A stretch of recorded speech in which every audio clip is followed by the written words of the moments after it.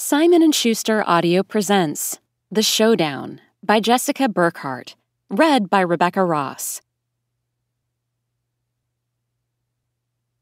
1. How could she? I didn't even pay attention to where I ran. As fast as I could, I bolted down the lane away from Emery Flynn. I couldn't stand being around her for another second, not after what she'd done. Not after she'd protected my classmate and fellow rider Nina, aka the Truth X Poser, the person who had filmed me without my consent, doctored the video, and leaked it to make it sound as if I hated Emery. My own stepsister knew the truth, but she never spoke up. She just let Nina torment me.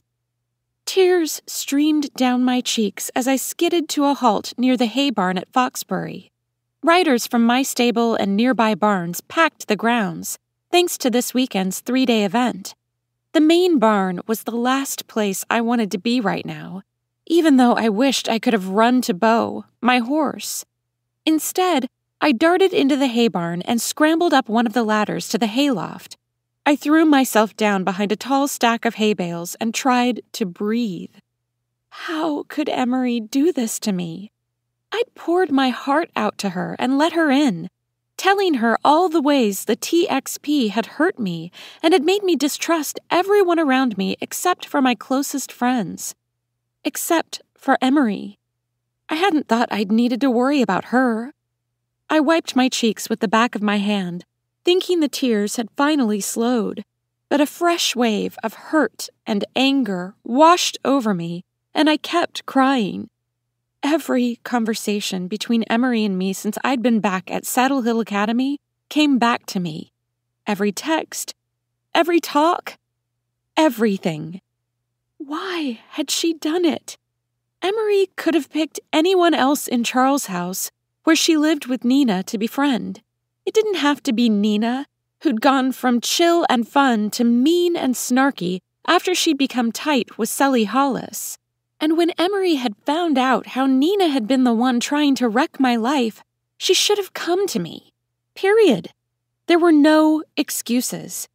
After the talks we'd had about how we were trying to become friends so this whole new stepsisters thing wouldn't be so awkward and hard, she'd done that. I wasn't going to speak to her ever again.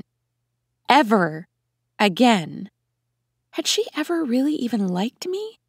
Or had she wanted to be Nina's friend all along, and she was just pretending with me to get info to share with Nina? Below me, boots tapped down the aisle. I held my breath, sure it was Emery wanting to try and talk to me and apologize. I didn't move, and I stayed with my arms curled around my legs, even when I heard someone coming up the ladder to the hayloft. Abby? It wasn't Emery after all. Over here. I croaked. Thea Song, one of my two best friends, popped into view as she peered around a stack of hay bales, spotting me. I burst into a fresh round of tears, just seeing a friendly face. Thea was on the loft floor next to me in seconds, wrapping her arms around me. I don't know what happened, she said, but Emery came up to me, super upset, and said I should check on you. One of the Lenox Hill riders said she'd seen you run in here. Emery happened, I said. She's known who the TXP is. Thea sat back so she could see my face, her eyes wide. She what now? I got this weird text from the TXP, and it said Emery was hiding something. So I asked her about it totally all nonchalant because I thought it was just the TXP trying to cause trouble and stir stuff up between us. But Emery, she started apologizing and telling me she didn't mean to hurt me, but she knew who the TXP was. You're joking. Do I look like I'm joking? I practically shrieked the question. Thea winced. Sorry, I'm in shock. I don't know what to say right now. Who is it? Who's the TXP? Nina. I gritted my teeth.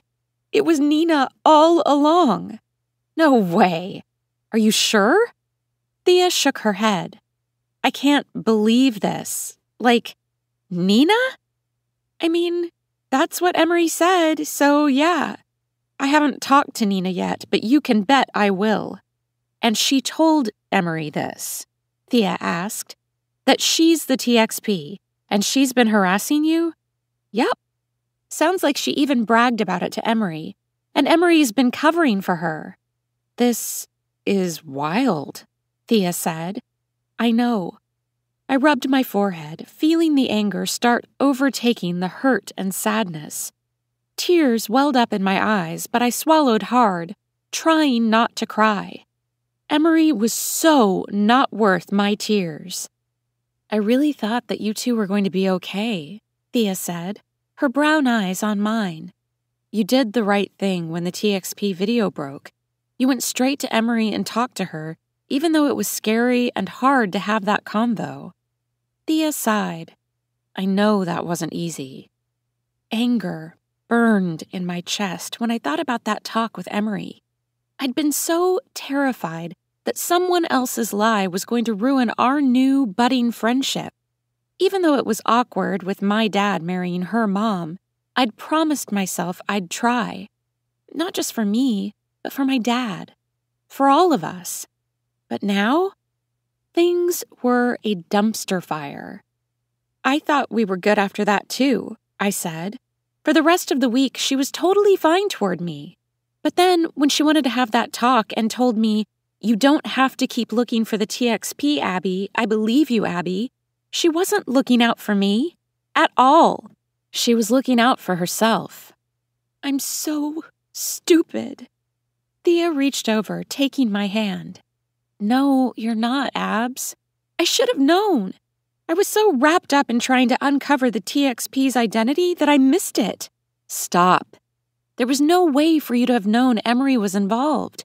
You didn't miss anything. I told Vivi not to put her on our suspect list. Because she's your stepsister, Thea said. Abby, I wouldn't have put her on my list either. You're a good person, so you just thought she'd be one too. If this is what happens when I'm a good person, forget it, I grumbled. I'm done. Abby. I'm serious. I need to go back to school. I don't want to see Emery right now. Well, ever, but especially not right now. Thea stood and stuck out a hand to me. Come on. The show's over today for our team anyway. As captain, I'll text Rebecca and tell her we left. Oops. Right. Rebecca. I cringed a little, hoping word of my argument with Emery wouldn't reach my riding instructor. I reached up, clasped Thea's hand in mine, and let her pull me to my feet. Let's get you back to school, Thea said. 2. Squad of awful people. When we got back, Thea walked me to my dorm room in Amherst House and shut the door behind us. My phone buzzed in my hand and I looked at the screen. Four new texts from Emery. I dismissed every notification without even opening them, put my phone on Do Not Disturb, and laid it face down on my desk. Where's Vivi? Thea asked. I sniffled, thinking of my other best friend and roommate as I sat down at the end of my bed. She's probably doing something at the theater. I think she had a meeting with her acting class. Okay, well, how about this? Why don't you shower and get into comfy clothes? I'll do the same, and we can all hang later to talk. Thea eyed me. Or not. We don't have to talk, it's totally up to you. Talking is good, I mumbled.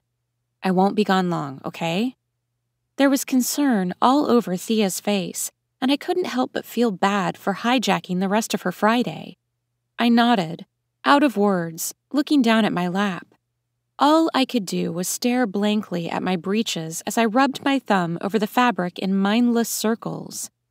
I couldn't believe Emery had lied to me about being with Nina on the day when the TXP had sneaked into my room and vandalized my whiteboard. I faintly heard Thea go into my bathroom, flick on the light, and turn on the shower. Come on, Abs, she said. She pulled me to my feet and pushed me into the bathroom. Go shower. I'll be back soon. And then she was gone. I stayed under the hot water for far too long, feeling numb. Everything had been looking up. We hope you enjoyed this preview.